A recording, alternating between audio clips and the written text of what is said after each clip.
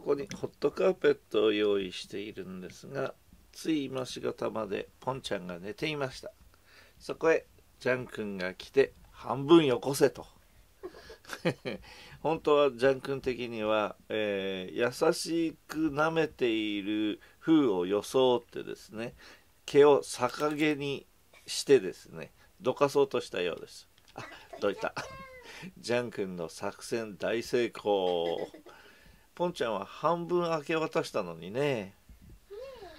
ジャン君作詞だね。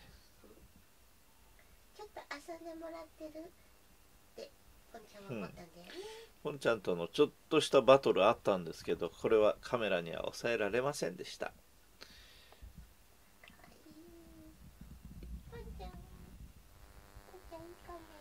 ジャン君。大人作戦成功だね。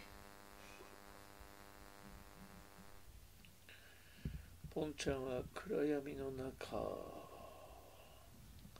その隣でジャン君は。これはジャンモナイト、うん、かわいい。久しぶりにこれにの入って寝たそうねだね